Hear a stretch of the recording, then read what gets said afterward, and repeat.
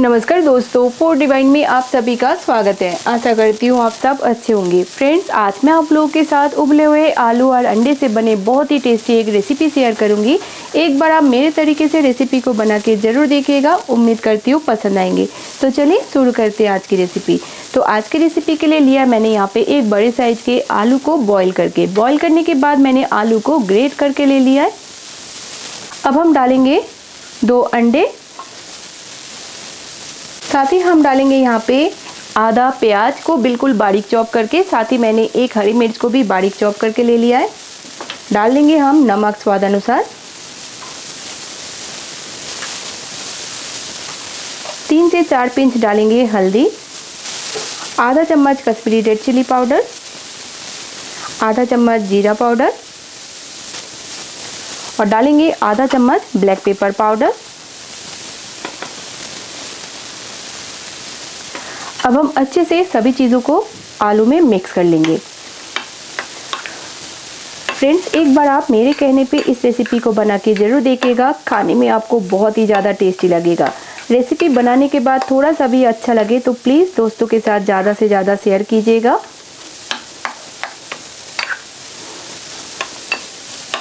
आलू को मैंने यहाँ पे ग्रेट करके ले लिया है ताकि आलू के एक भी चंक्स ना रहे। तो देखिए, अच्छे से मैंने मिक्स कर लिया है तो चलते नेक्स्ट स्टेप की ओर।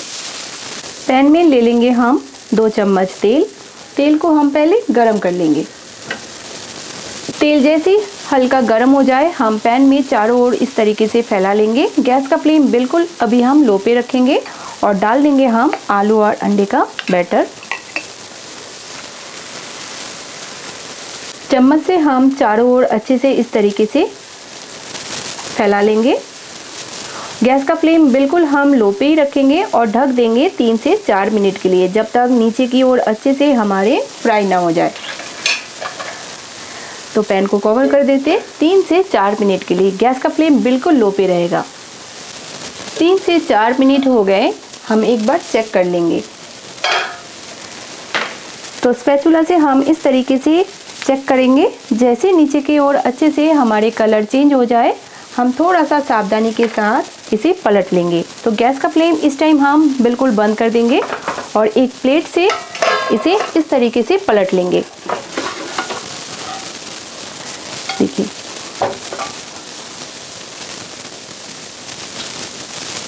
गैस का फ्लेम फिर से हम ऑन कर देंगे और ऑमलेट को हम इस तरीके से थोड़ा सा सावधानी के साथ नीचे रख देंगे। गैस का फ्लेम हम बिल्कुल लो पे रख के तीन से चार मिनट के लिए और फ्राई करेंगे। पर ढकेंगे नहीं, हम खोल के इसे और फ्राई करेंगे जब तक नीचे की ओर अच्छे से कलर चेंज ना हो जाए। और आप देख सकते हो, बहुत ही अच्छे से हमारे जो ऑमलेट है, फ्राई हो गया है। कलर चेंज हो गया है अच्छे से। तीन से चार मिनट हो गए, हम ऑमलेट को हल्का इस तरीके से चेक कर लेंगे। जैसे नीचे की ओर अच्छे से कलर चेंज हो जाए, हम निकाल के एक प्लेट में रखेंगे। थोड़ा सा हम पहले ठंडा कर लेंगे। पैन में हम ले लेंगे तीन चम्मच तेल और तेल को पहले गरम कर लेंगे। तेल जैसे गर्म हो जाए, हम डालेंगे एक टुकड़ा दालचीनी के दो छोटी इलायची, दो लौंग, साथ ही हम डालेंगे एक चम्मच साबुत जीरा। गैस का फ्लेम बिल्कुल लो पे रख के फ्राई कर लेंगे और डालेंगे हम यहाँ पे एक मीडियम साइज़ के प्याज को छोटे छोटे टुकड़ों में काट के। प्याज को हम फ्राई करेंगे, प्याज के कलर चेंज हो जाने तक। प्याज जैसे ही हमारा फ्राई हो जाए, हम डालेंगे अदरक लहसुन का पेस्ट एक चम्मच और एक मिनट के लिए और हम फ्राई कर लेंगे। अदरक लहसुन जैसे ही भून जाए, हम डालेंगे यहाँ पे एक मीडियम साइज़ के टमाटर को छोटे छोटे टुकड़ों में काट के, साथ ही हम डालेंगे कुछ ड्राई मसाले। गैस का फ्लेम बिल्कुल लो पे करेंगे, डालेंगे नमक स्वाद अनुसार। आधा चम्मच हल्दी एक चम्मच कश्मीरी रेड चिली पाउडर, एक चम्मच जीरा पाउडर। थोड़ा सा हम पानी डालेंगे और मसाले को चार से पाँच मिनट तब तक भूनेंगे, जब तक टमाटर हमारे पूरी तरीके से सॉफ्ट ना हो जाए।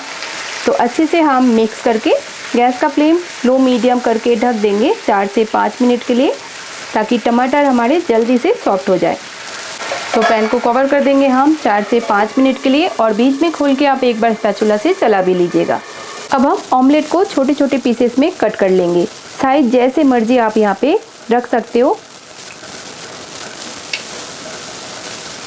आप चाहे तो इस सब्ज़ी में आलू का भी यूज़ कर सकते हो। मैं आज के सब्ज़ी में आलू का यूज़ नहीं कर रही हूँ। तो इस तरीके से हम लंबाई में पहले काट लेंगे, फिर हम इस तरीके से और एक कट लगा लेंगे। देखिए।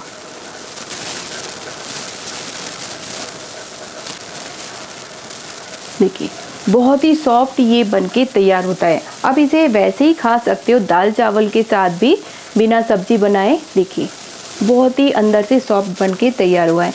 तो चलिए, सभी पीस को मैंने काट लिया है। चार से पाँच मिनट हो गए और मसाले हमारा अच्छे से भून चुका है। टमाटर भी पूरी तरीके से सॉफ्ट हो गया है। अब हम डालेंगे करीब एक कप पानी।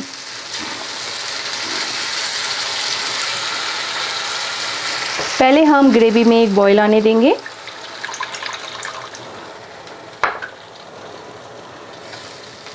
जैसे ग्रेवी में बॉईल आ जाए, हम डालेंगे आधा चम्मच गरम मसाला और साथ ही डाल देंगे जो हमने अंडे को फ्राई करके रखे थे। तीन से चार मिनट के लिए हम मीडियम फ्लेम में ढक के पकाएँगे।